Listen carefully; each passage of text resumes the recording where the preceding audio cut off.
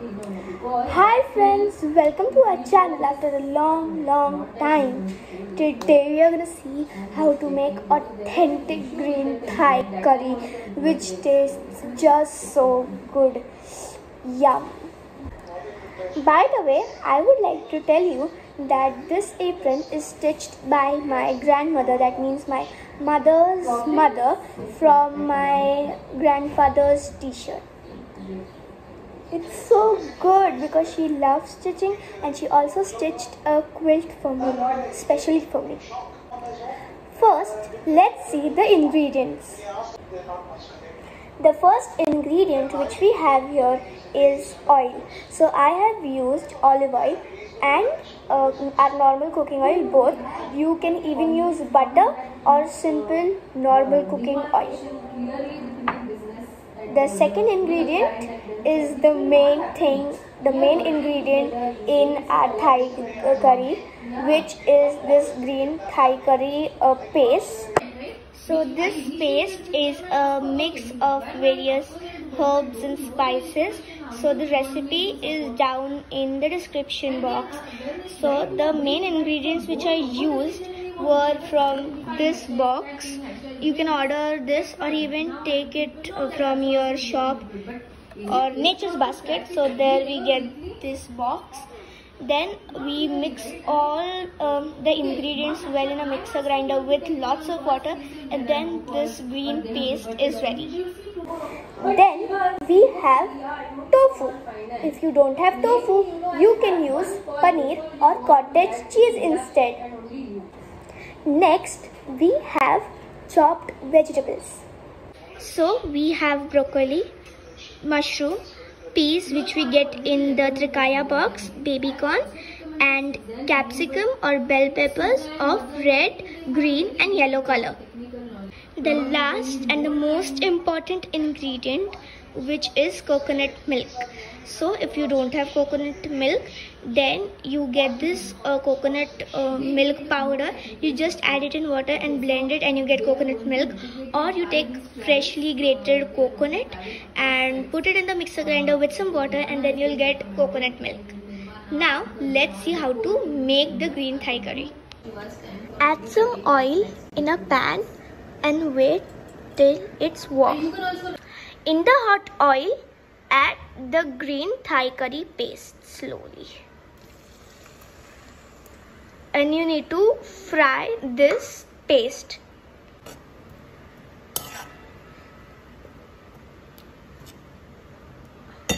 At this stage, you can increase the flame to medium to high.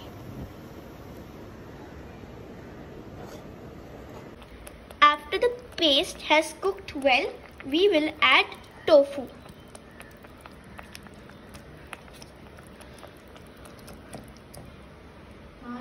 and now mix it well.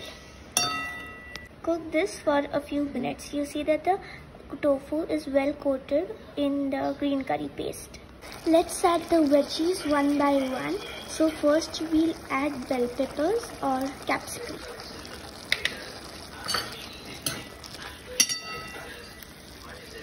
Wow. so I added the capsicum first because it cooks fast. And if you want the capsicum to be really really soft you can add uh, you can actually boil the capsicum and then add it. Or if you want it crunchy you can directly add it like how I did.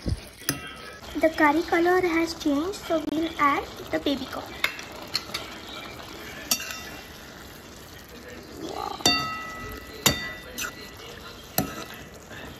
Let's add the other ingredients which are mushroom and broccoli. Mix this really well and then we will add the peas. Here go the peas. Saute it for a few minutes and then we will put on the lid.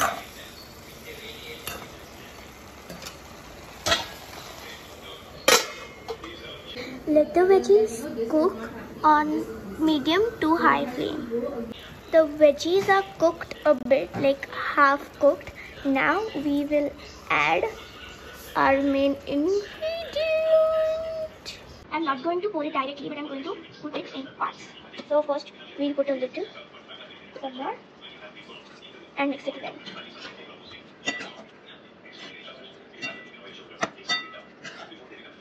Again we'll add some.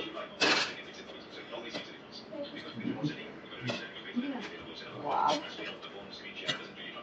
I have actually used one packet of ready-made coconut milk and one, uh, you know, some homemade. Mm. Wow. Nice. You need to change the spoon or whatever you're taking, like a spatula, after you saute it because now the curry is ready. And we need to keep it uh, for boiling. Let it boil on low flame, low to medium. Before that, let's put some salt. You shall always taste the product or the dish you're making before you serve it. So I had put some salt, but it's not that tasty, so I'm going to put some more. Yeah. And now we mix it. Wow. Now let this boil for a few minutes. I would like to tell you all that you must be very precise about your proportion because there shouldn't be more vegetables and less curry and even vice versa like more curry and like you know just a quarter cup of vegetables not like that. It should be in proper proportion. So here the curry has boiled and you can see that the curry and the veggies are equal. If you are diet conscious or something like that you are always allowed to add more veggies as per your preference let's switch off the flame and let this cool down a bit and then we'll be ready to serve it. If you want more green color or more spice you can actually take a mixer grinder jar put some chilies like however you want some lemon juice and chopped coriander so with some water you grind it and make a puree and then add it and then boil it. So it will be tastier than the before one and you'll also get a green good green color.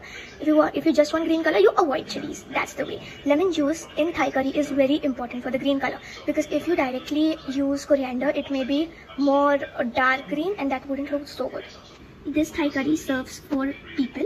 If you want more, you can double the recipe or if you want just for two people, you can reduce the re recipe to half. Our yummy Thai curry is ready. Thai curry goes best with brown rice. It just tastes delicious and it is also very healthy. The brown rice is healthy. This plate is for me because I don't like vegetables other than tofu and mushroom and this plate is for my mama full of vegetables because she loves them. Thank you all for watching this video and don't forget to like, share and subscribe. Bye.